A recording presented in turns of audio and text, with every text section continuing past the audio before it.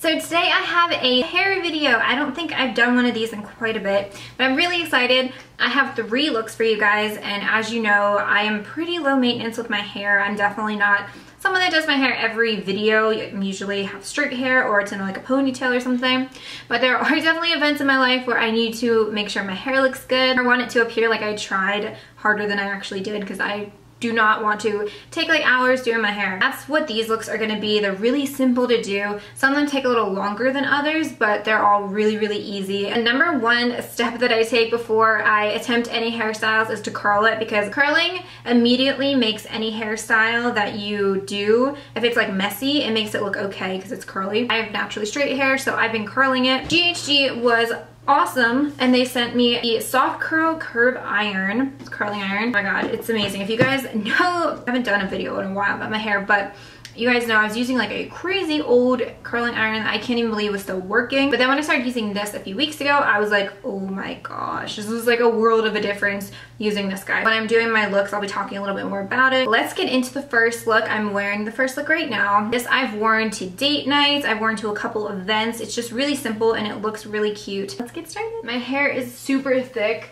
and I cannot curl it in just one go around. I'm gonna take the first two layers and just put that in a hair tie. A little bit down here. And this section is going to be split into two after. this thing like heats up in like no time. I'm so surprised because I've been using this now for a week and a half. It's ready. I'll show you how I do my curls three quarters of an inch section of hair. Do not mind uh, this color. it's for a different video. I'm gonna start off before just because I don't want to curl that piece. But yeah, I clamp it and I just twirl it towards my head. 30 seconds, how long it was, but it is really, really hot. I'm so surprised how hot this is. What I do like too is that it sounds like a little piece that you like rest on your table so that you don't have to worry. I know some other um, curlers, they have like a little flap of metal. I hate those because you have to like kind of angle it out so when you're curling it, it doesn't like get stuck in there. Like my hair has gotten caught before. So I like that this does not have that. And I'm gonna do the exact same thing all around now away from my face so pretty. And then when I get to this side of my hair, I'll take a piece and I'll clamp it down like that. And then I'll just rotate it away from my face again. Okay, so now I have the entire bottom layer curled. I'm not gonna spray it. I don't like putting hairspray on uh, when I feel like it could get on hair that I'm gonna curl. A little clamp instead of a hair tie because I don't wanna mess up my curls and I just clamp them together. I'm gonna let down the top piece Divide it again, take like the very top and put it in a pony. I look for curling irons, I like the ones that have a larger barrel, not too big, but a nice size. So this one is perfect, really nice natural curls. I'm just more into that for my hair. It takes less time. A smaller curling iron would be absolutely too long on my hair. So like this one to me is so much easier with the curling iron that has like a clamp because I can just kind of chill here. Finished curling this part. I'm gonna take that clip that I had clipping the bottom part and clip all of it together now, like the two layers I just did. And then we're gonna let down the top. Then I also do part it the way that I kind of want it to be parted. I'm going to curl all this top then. Kind of see the size a little bit more of the curl that you get with this curler. So then these front ones, I always curl last. These last two, I just curled. I always curl them for less seconds just because the curler curls your hair like really fast. So I don't want like these curly cues right at the front of my head. And all of my hair is now curled. That's what it looks like. My hair is still pretty flat up at top and I don't want that. Gonna add volume. I work in three sections, one, two, three. So I'm gonna start at the back. Think of a line here and take hair that's along that line. I'm gonna spray it first at the bottom and tease. If I wanna grab a little bit more hair, I can do that just to add a little bit more oomph. Then I'm gonna work on the sides here. Not too far in because I don't want like a huge rounded kind of head. Do the same thing on the other side. I'm gonna brush it over. You just wanna get like the first or couple layers of hair to go straight because it'll hide like what you created underneath, keeping the height.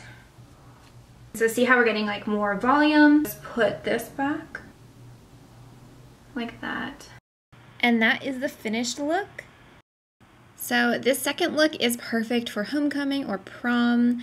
So I'm just taking three sections from the back of my hair, about two inch sections. I'm just showing you guys where I'm going to be pulling that from.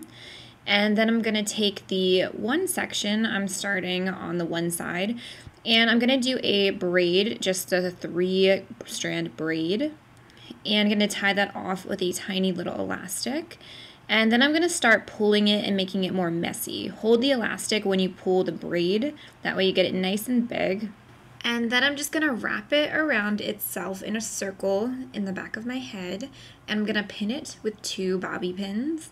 Then I'm to do the exact same thing for the middle and the other side.